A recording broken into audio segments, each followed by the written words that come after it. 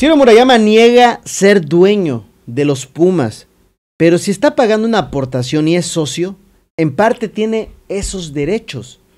Solo son cuestión de términos legales, contables. Sin embargo, no niega ser parte socio de los Pumas. Vámonos amigos con el intro del video. Tengo la dicha enorme de eh, gobernar en un tiempo en que existen las benditas redes sociales. ¿Qué más le puedo pedir a la vida? Bienvenidos amigos a una nueva información más. Mi nombre es Jesús Domínguez, reportándoles para las benditas redes sociales. Si te ha este video, dale me gusta y compártelo en tus redes sociales. Pues amigos, resulta que Ciro Murayama le sacan tremenda noticia, ya lo vieron en la conferencia de prensa mañanera, y resultaría ser en parte dueño del equipo de los Pumas. Ahora, siempre corrige Ciro Murayama, acepta que es parte, asociado. O sea, se vio acorralado y lo tuvo que aceptar. Pero miren cómo va el sentido de la información. Por ejemplo, aquí pone Grupo Fórmula. El consejero Ciro Murayama negó que sea uno de los dueños de Pumas, únicamente es asociado del club. Esto lo pone Grupo Fórmula, ya saben, donde está los brothers de Alito. Ahora, Marco Antonio Bonilla pone en Twitter, sorpresa, el equipo de fútbol de los Pumas de la UNAM no pertenece a la UNAM sino un puñado de inversionistas entre los cuales está Ciro Murayama, consejero del INE. ¿De dónde sacaría tantos millones de dólares para comprar con sus amigos un equipo de fútbol como la UNAM? Interesante pregunta. En la mañanera de AMLO, el periodista Amir Ibrahim demostró que los Pumas no son de la UNAM, sino de una asociación civil llamada Club Universidad Nacional Asociación Civil. Uno que aparece como dueño es Ciro Murayama Rendón, consejero del INE. Pero tras ser exhibido en la mañanera, Ciro Murayama, hay algo importante que hace. Se trata de justificar, por eso digo que no lo niega.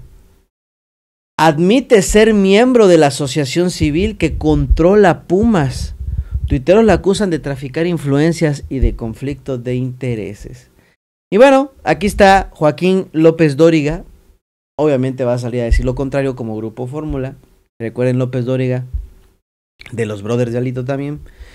Y dice, el consejero electoral Ciro Murayama negó ser uno de los dueños de los Pumas, tal y como se afirmó en la conferencia matutina del presidente López Obrador. No tomo decisiones, no recibo un céntimo, es lo que sale a decir Ciro Murayama. Y escribe este tuit, vamos a leer. Hoy en la mañanera se me acusa de ser uno de los dueños de los Pumas. Falso. Soy asociado de la AC de Pumas, uno de entre 450. Esto no tiene fines de lucro. Pago 7 mil al año. ¿7 mil qué? 7 mil dólares, 7 mil euros, 7 mil kilos de oro, no sé. Pago 7 mil al año y recibo dos boletos para ir a la grada del Palomar en Ciudad Universitaria. No tomo decisiones, no recibo un céntimo. Por otra parte, la Asociación Civil de Pumas es un acierto. ¿Por qué? Porque el equipo es de la UNAM, pero la casa de estudios no gasta un peso en jugadores profesionales. El dinero público de la UNAM va a la docencia, investigación, cultura, nada más. Y sí, orgullosamente hecho en Ciudad Universitaria, sale a decir Ciro Murayama. Pero bueno, el video en cuestión del cual eh, sale en redes sociales es este. Vamos a ver, vamos a escuchar. Porque la mayoría de los ciudadanos creemos que los Pumas son de la Universidad Autónoma de México, pero no, en realidad eh, son del Club Universidad Nacional AC, una asociación civil con una eh, personalidad jurídica propia, ajena a la universidad, a la cual están integrados empresarios, periodistas, políticos, exfuncionarios de la universidad y funcionarios activos que necesitan tener en esa asociación. Y pues uno de los que es dueño aparece como socios en la parte de los Pumas, pues imagínense, es Ciro Murayama Rendón, consejero del INE, Jorge Espinosa de los Monteros, quien es promotor y vende jugadores eh, también. De hecho, a, él se le ahorita a él se le, se le da que hayan contratado a Dani Alves ahí en, en los Pumas, o sea, un grave conflicto de intereses, ha vendido muchos jugadores en México, es perteneciente al, al, reportaje que escribí del cártel del gol como uno de los operadores, promotores con más transacciones que lo hacen a través de prestanombres, que esto es importante. Llegar a ellos es muy, muy complicado porque usan a otro, a otro, a otro para llegar a, ese, a esa transacción. También están este, Alejandro ex nieto del abogado, eh, también este, Eduardo Medina, este, hijo de Eduardo Medina Mora, Raúl Medina Mora, eh, Alonso Carvajal Villaciencio, que es comentarista de Televisa. Y bueno, este reportaje fue publicado por Mauricio eh, Romero en el portal Aristegui Noticias y pues bueno, es bien interesante porque eh, la universidad le da 50 millones de pesos anuales y le presta el estadio a esta asociación para que, para que puedan este, llevar a cabo sus actividades. Y me llama mucho la atención porque antes de hacer esta separación, eh, todos los jugadores que salían de la UNAM eh, pues tenían que estudiar y tener una profesión. Bueno, es la información que empezó a circular en la conferencia de prensa mañanera. Pero ya salió a desmarcarse Ciro Murayama, sin embargo acepta que él es socio. Miren, acá dice, un socio es quien hace una aportación a una sociedad, sea en dinero, capital, trabajo, conocimiento u otros. La sociedad define los derechos y deberes de cada uno de los socios. Se benefician de las ganancias de la sociedad. ¿Eh? Dice, ¿qué significa ser socio de una empresa? Cualquier persona que se une a otra persona para desarrollar un proyecto común es un socio, de latín socios o compañero. Ese contrato que se establece entre ambos para arreglar esa relación, la que define la responsabilidad de cada uno de ellos por el conjunto del proyecto. Vamos a ver qué más. ¿Qué hace un socio propietario? Dice, los socios o accionistas son los propietarios de una parte de alguna entidad. Propietarios son dueños adquieren, adquiriendo con ello derechos y obligaciones fiscales y legales.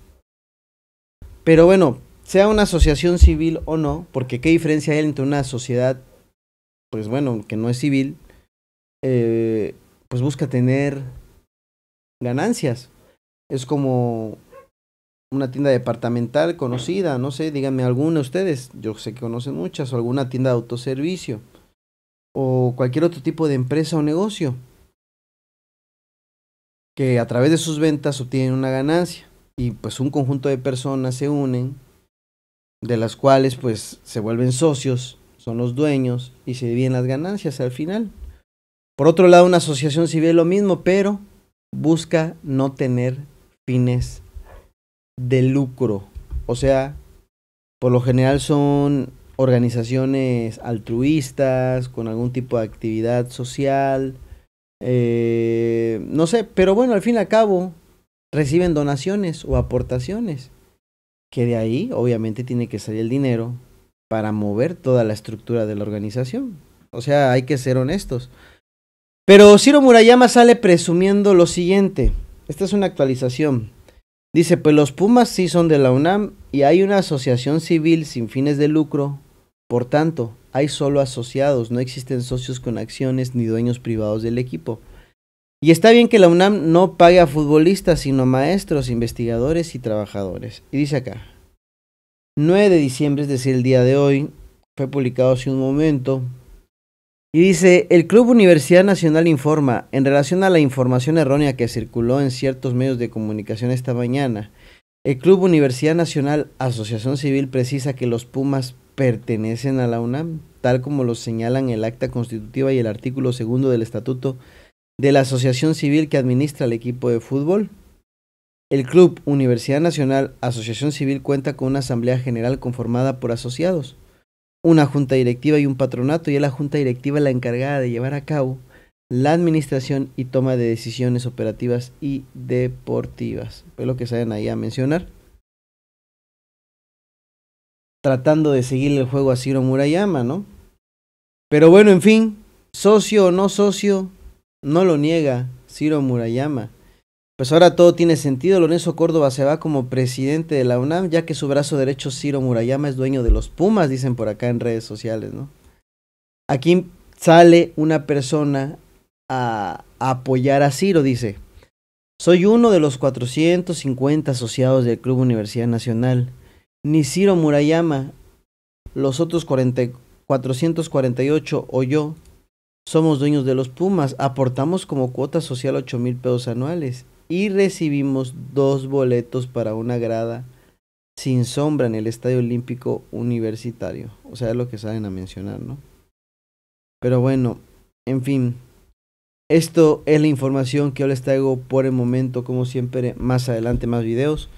Ciro Murayama se ve acorralado, no niega ser socio, que al fin y al cabo eso lo hace parte de beneficiario.